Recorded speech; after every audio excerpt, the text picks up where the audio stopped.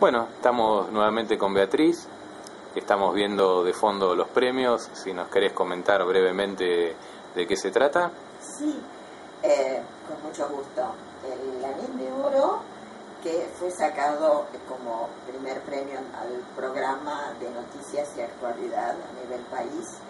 Eh, luego tenemos el programa, este es de Ecos de la Tierra, de Radio Mantra FM y luego tenemos eh, la medalla de oro que sacó el otro noticiero que se llama El Espejo, también de la misma radio, eh, y que nos fueron otorgados en el rubro noticieros.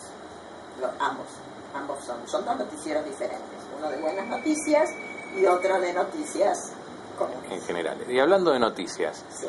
y desde tu perspectiva como periodista, eh, desde tu perspectiva también como eh, una persona que ayuda a la evolución de las personas, a, por ahí a comprender por qué le pasan algunas cosas, porque mucha gente a veces tiene ese problema existencial que podríamos decir de no entender por qué le pasan las cosas o de no poder encontrar la forma de superarlo. ¿Qué análisis haces de esto que está ocurriendo de los saqueos, del nivel de violencia que existe, porque tenemos por un lado los saqueos y por otro lado ayer que hubo un festejo de los hinchas de Boca que también terminó de manera violenta y parecería que cualquier reunión que implique eh, reunión de gente tiene que terminar de una manera violenta, ya sea para que reclamar algo como vimos en Tucumán, que la gente reclamaba los saqueos y la propia policía los terminó reprimiendo, algo que no tiene mucha lógica. Y nos encontramos también que un festejo de un club, que debería ser un festejo donde todos deberían estar contentos, termina también causando destrozos y perjudicando a gente que por ahí no participa de eso y gente que, eh, a mí me pasa como periodista, que uno lee que hay gente que tiene hasta miedo de salir de la casa para hacer las compras, que tiene miedo para ir a trabajar estamos viviendo, me parece, con un nivel de miedo que no deberíamos tener. No, es real. Eh, el tema, yo lo llamo prisiones. Eh, las personas solemos reprimir las emociones. Eh, en general, a través del miedo pensamos de que no es lícito de pronto mostrar determinada emoción, como puede ser un, un temor o puede ser aún hasta una envidia que suena muy feo a, ser dicha, pero que en realidad está dentro de cada uno. Em, sobre todo las limitaciones. Eh, cuando todas esas limitaciones o cuando todos esos eh, eh, enojos que uno va guardando no los saca, o sea, no los procesa, no los termina sanando, quedan dentro del ser, quedan como guardados y como toda energía, cuando no se saca, comienza a fermentarse. En algún momento se produce una especie de vulcanización, el, el magma del volcán comienza a salir, explota y se abren esas prisiones internas. Esto es lo que me parece que está sucediendo en este momento. Todas esas represiones de las autolimitaciones que nos hemos puesto y decir, bueno, no puedo decir tal cosa porque quedo mal o, no puedo decir tal otra porque eh, esta persona me va a culpar o no me va a querer. En, realidad puede haber quedado dentro de, la persona y ante cualquier motivación externa es como que en este momento con las fuerzas de las energías que están bajando se abren esas prisiones y todo lo más guardado o más oculto comienza a salir igual que en un volcán. Entonces, ¿qué sucede? Tal como el magma comienza a destruir.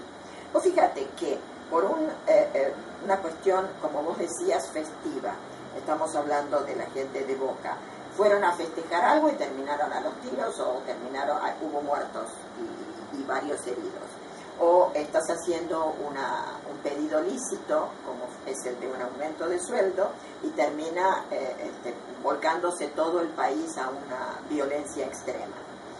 Eh, si eso en realidad es como la puerta que se abrió y que permite que toda esa energía que, que yo guardé eh, inconscientemente, como si fuera una prisión, sale y se manifiesta, simplemente porque tiene que salir.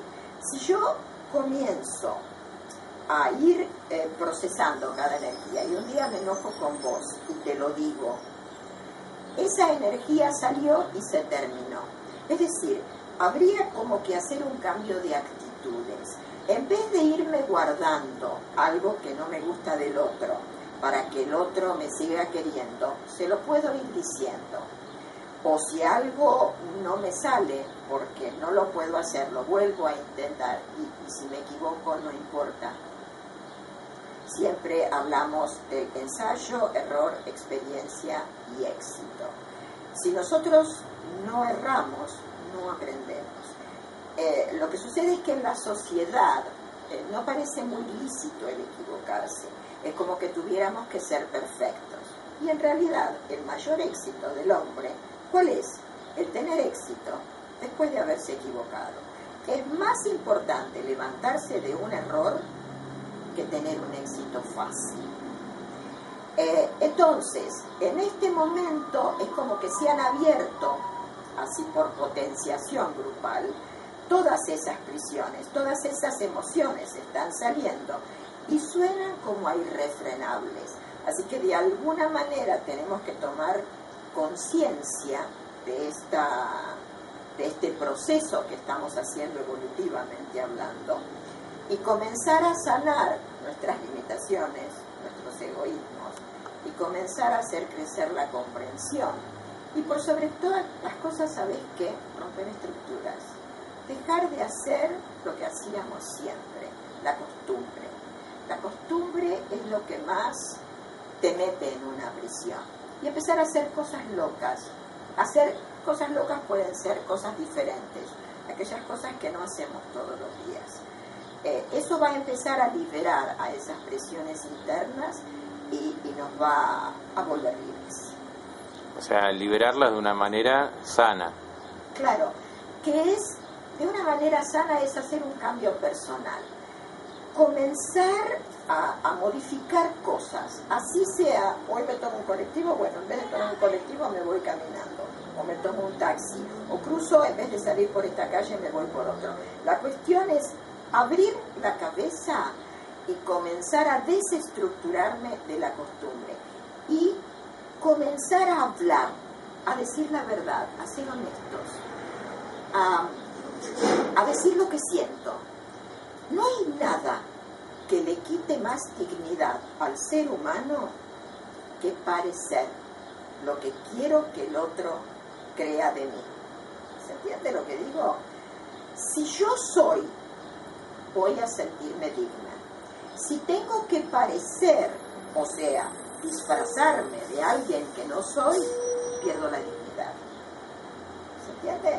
Entonces, en realidad sería acostumbrarme a empezar a decir las cosas tal como las siento.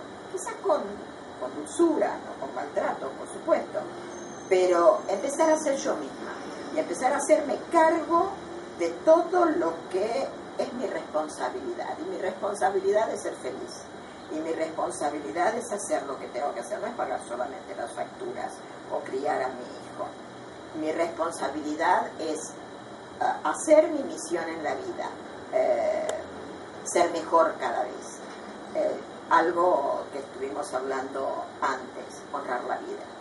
Honrar la vida significa vivirla, no existir, dejarse dejar que los demás te lleven, sino hacerse cargo de, tus propios dones, eh, tomarlos y vencer a tus propios miedos. Esa es la palabra, ese es el tema. Todos tenemos miedo, pero el, que es verdaderamente fuerte no es el que no tiene miedo, sino aquel que se atreve a enfrentarse a sus propios miedos. Y ahí crece, y ahí evoluciona, y ahí se vuelve libre. Bueno, eh, siempre que estamos charlando de temas que tienen que ser de alguna manera y son importantes, estamos acostumbrándonos a, que pasan estas cosas y creo que es bueno, ¿no? Por lo que vos me decías, cuando hay estas señales, eh, es una una buena señal de que por lo menos esto funciona, de que eh, de alguna manera creo que uno envía un mensaje ¿no? al universo en estas cosas. Sí, eh, el universo somos nosotros. Eh, nosotros pensamos que el universo es algo que está fuera realidad nosotros formamos parte del universo. Y cuando estamos hablando de responsabilidades, de pronto una de las responsabilidades que podemos tener que adquirir es sentirnos parte del universo. Sentirnos parte del universo, ¿qué significa? Que puede formar parte de mi responsabilidad el cuidar las plantas, el tratar bien a los animales, eh, hasta, hasta las piedras, no solamente a los seres humanos. Eh, y por sobre todas las cosas, algo de lo que siempre me estoy eh, olvidando, que puede llegar a ser, que puede llegar a ser el tenerme a mí misma. la mayor responsabilidad que tiene el hombre es precisamente cuidarse a sí mismo. Esto se tomaba hasta ahora como egoísmo y en realidad no es egoísmo. Cuando nosotros subimos a un avión, lo primero que te enseñan es que cuando baja la mascarita de oxígeno, vos lo que tenés que hacer es colocarte la voz y después a la criatura que tenés al lado. ¿Por qué es eso? Porque si yo estoy bien, puedo ayudar al otro, pero si yo no estoy bien, no puedo ayudar al otro. Entonces, no es egoísmo, sino que simplemente responsabilidad y amor hacia mí. A mí me gusta decir, no amor propio, sino el propio amor. ¿Se entendió? Sí, sí, sí, entendió perfectamente. Bueno, vamos a dejar pendiente que nos cuentes en una próxima entrevista eh, cómo evoluciona toda esta violencia que vemos, eh, que nos cuentes también eh, que por ahí es interesante ir desarrollándolo el tema de la dignidad porque la gente a veces, la dignidad no es nada más eh, como es eh, desde lo personal, sino que creo que lo que afecta a muchos trabajadores hoy en día y se generan cortes y manifestaciones por ahí a veces un poco violentas, tiene que ver con la falta de dignidad que hay en el, o que sienten que hay en los trabajos, con el maltrato laboral.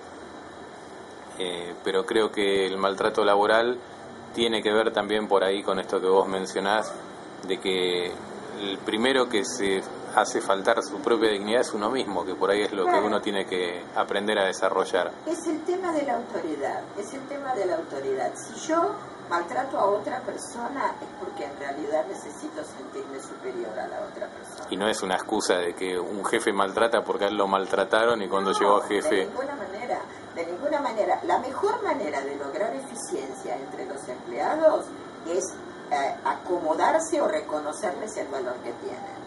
Eh, es justamente a la inversa, no es mostrando la superautoridad, sino reconociendo la autoridad del otro. Y vas a ver que el otro te responde con el ganar-ganar, porque se pone la camiseta de la empresa y, y termina, todos terminan ganando. Sí, creo que tiene que ver con saber detectar el buen jefe, las habilidades que tiene cada trabajador y asignar en virtud de la habilidad que tiene ese trabajador y no creer que cualquier trabajador pueda, hacer cualquier cosa por una imposición. Por eso no es tan fácil ser líder. Por eso para ser líder una de las primeras condiciones que se tiene que tener es saber formar un equipo. Recoger cada don que tiene cada persona y formar un equipo con los dones de esas personas. Eh, y que esas personas realicen el trabajo que, esa que ese líder va a supervisar mensaje que por ahí podríamos transmitirle a los políticos, que es donde uno a veces, claro, donde uno a veces ve que falla justamente la falta del líder.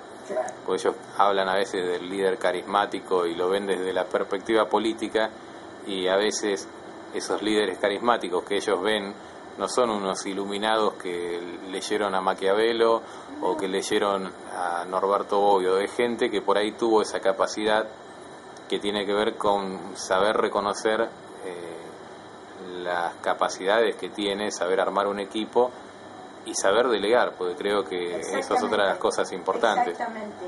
El buen líder no trabaja, dirige super, organiza, dirige y supervisa. Porque el trabajo lo tiene que hacer el equipo. Lo que pasa es que para eso va a tener que soltar su propia autoexigencia y su desvalorización hacia el otro. Tiene que reconocer el don de sus empleados o de su equipo para saber que ese equipo va a funcionar bien y te aseguro que el equipo va a funcionar bien. Bueno, esperemos que tomen este consejo si lo ven. Nota de vida, nota. Bueno. bueno, muchas gracias Beatriz. Ha sido un placer como siempre. Igualmente para nosotros, ¿eh? Gracias. Buenas tardes.